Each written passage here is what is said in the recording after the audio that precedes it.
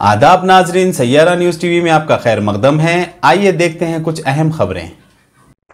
लंगोरौज police station limits के तहत एक अफसोसनाक वाकया पेश आया, जहाँ एक नौजवान डॉक्टर जोड़े की जुमेरात की रात लंगरहौज में उनके घर में बिजली का करंट लगने से मौत हो गई।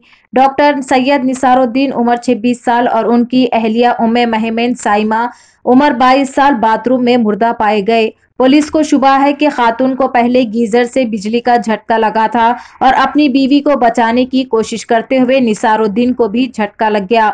इतलात के मुताबिक दोनों की मौके पर ही मौत हो गई। पुलिस ने मौके पर पहुंचकर नाशों को उस्मानिया जनरल हॉस्पिटल के मुर्दा खाना मुंतकिल कर दिया। निसारुद्दीन सूर्यापेट में प्रैक्टिस कर रहे थे जब उनकी अहलिया शहर के एक प्राइवेट कॉलेज से एमबीबीएस का कोर्स कर रही थी। लिहाजा पुलिस ने मुकदमा दर्ज कर लिया है और तफ्तीश जारी है।